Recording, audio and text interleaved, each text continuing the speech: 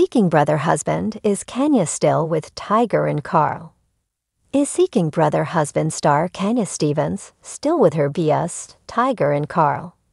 The premiere episode started off a little rocky with Kenya's demands. Mainly, Tiger seemed to take issue with what his partner wanted. So did they overcome and make it a lasting love? Or was Kenya left in the dust to rebuild her life? Read on for more details. Seeking Brother Husband.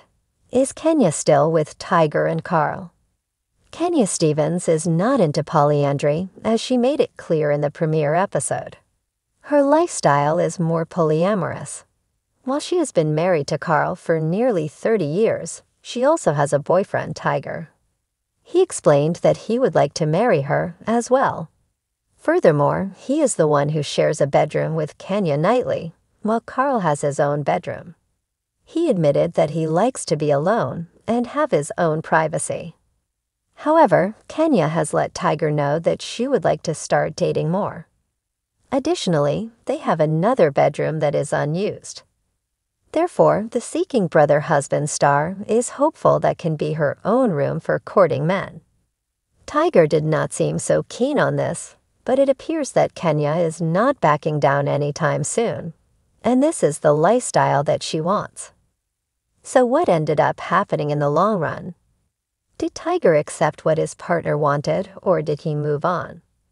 More so, where does Carl fit in when it comes to the relationship?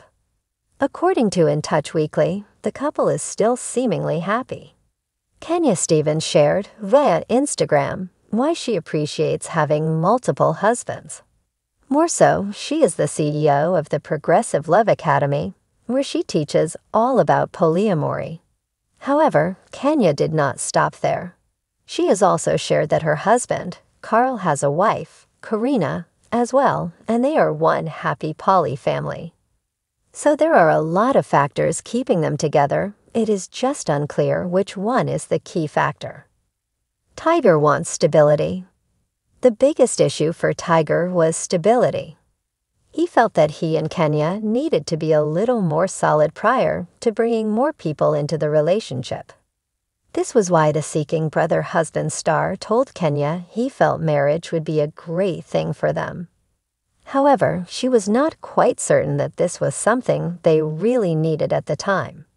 It appears that has changed as a clip in the trailer shows them all in white, presumably going to get hitched.